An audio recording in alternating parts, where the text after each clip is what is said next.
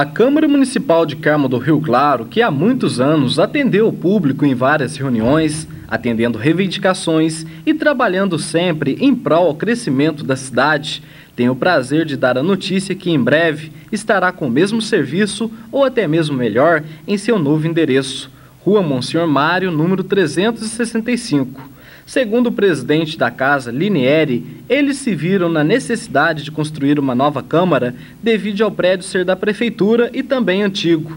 Mas o que mais está interferindo é o espaço. Não há uma total independência, como sala para a secretária, para os assessores e outros. Aqui a dependência é pequena, então uma das necessidades foi essa. E a outra das necessidades é o seguinte, que a Câmara hoje é totalmente independente por ser uma Câmara independente, nós, independente financeira, tá? então, por ser independente, nós temos a necessidade também de já ter o prédio próprio da Câmara.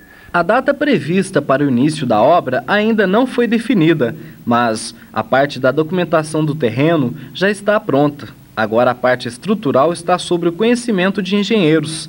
Na hora em que a planta estiver pronta, aí sim eles vão para a segunda etapa, onde será a parte licitatória, onde as firmas que tiverem interesse vão concorrer à mão de obra da execução.